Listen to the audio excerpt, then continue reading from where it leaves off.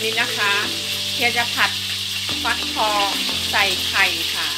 ฟักทองลูกใหญ่ใส่ไข่นะคะ ผัดฟักทองใส่ไข่ค่ะ ไปดูกันเลยค่ะ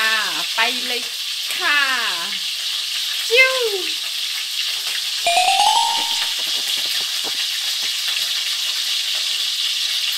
ผัดฟักทองใส่ไข่นะคะ ก็มีฟักทองค่ะ เป็นนางเอกนี่ฟักทองเดี๋ยวเรา อันนี้น่าจะเป็นพันอัศนีค่ะ มันค่ะ นี่เดี๋ยวเราหั่นหั่นออกมาแล้วเราก็เอามาล้างแล้วก็เอามาหั่น หั่นเป็นแว่นๆจะได้ผัด นี่ค่ะ เดี๋ยวจะให้ดูลูกฟักทองก่อน พันอัศนีนะคะพันนี้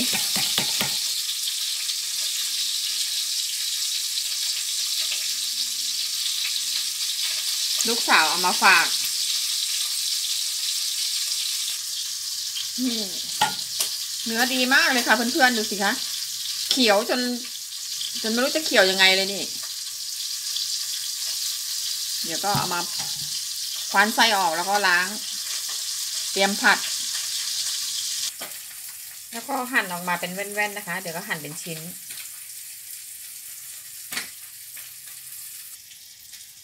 หั่นออกมาเป็นชิ้นๆอย่างเงี้ยนะคะ นี่ค่ะ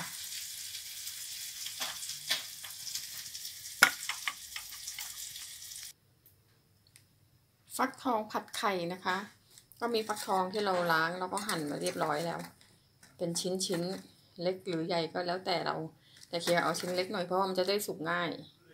ใส่ไข่สองฟองค่ะ ใบโหระพา มีน้ำตาลทรายแล้วก็ผงงัวซีอิ๊วขาวน้ำมันหอย น้ำปลาเอ่อผัดฟักทองใส่ไข่เคียจะไม่ใส่กระเทียมนะคะ เคียจะใช้หอมค่ะ อมแดงหรือหอมแขกค่ะ สับหยาบ เดี๋ยวไปเจียว หอมค่ะ เพื่อนๆลองดู ลองไปทำดู จะใส่กากหมูด้วยค่ะ นี่เพิ่มความอร่อย ตั้งกระทะเติมน้ำมันลงไปในกระทะเลยค่ะ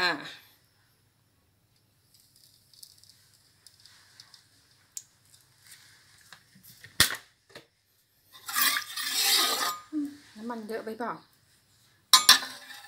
ระใบเก่า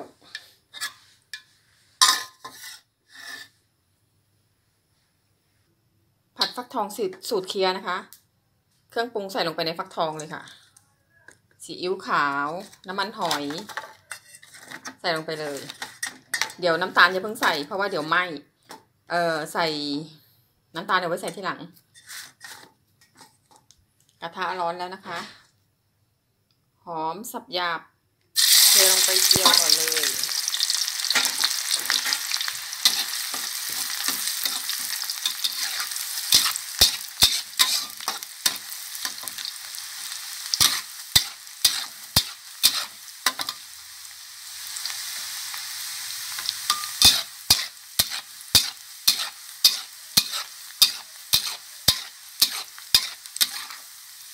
ใส่หอมเยอะๆค่ะ ใส่หนึ่งหัวเลย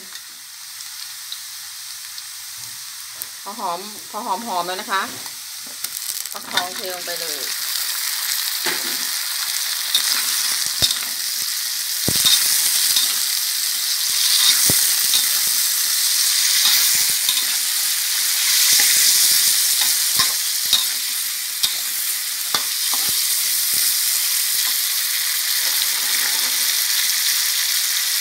ากหมู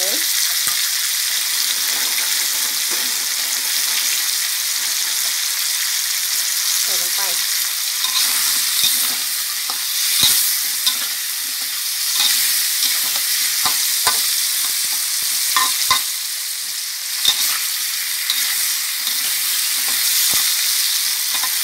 ผัด ให้หอมแล้วก็เดี๋ยวเติมน้ำลงไปฟักทองจะได้สุก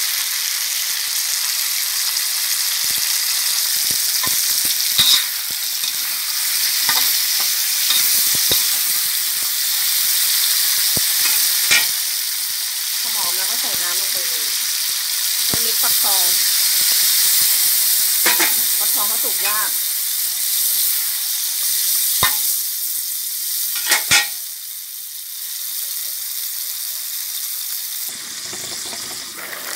นี่ค่ะ ปิดฝาไว้ เพื่อให้ฟักทองสุก ฟักทองสุกยาก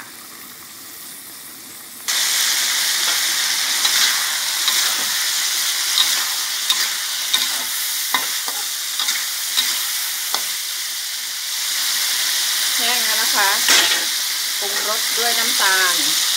แล้วก็ผงชูรสหรือผงนัวใส่ไปเลย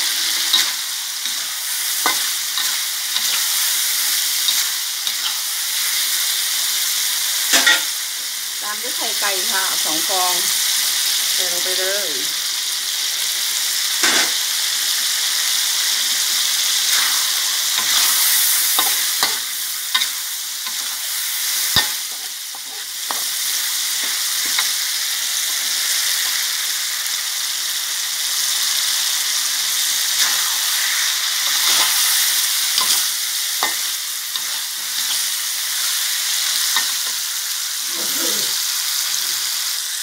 แล้วนะคะ ใบโหระพาลงเลยค่ะ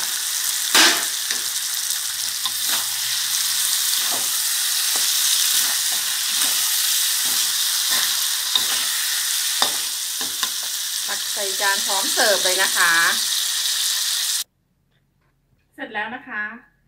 ฟักฟักทองผัดใส่ไข่ค่ะ สูตรเคลียร์นะคะ ใส่หัวหอมนะคะ ไม่ใส่กระเทียมค่ะ ชอบคลิปนี้อย่าลืมกดไลค์ กดแชร์ กดติดตาม กดกระดิ่งกิ้งกิ้งกิ้งให้เคลียร์ด้วยนะคะ หอมฉุยเลยค่ะ มากินด้วยกันค่ะ มาค่ะเพื่อนๆ มากินด้วยกันค่ะ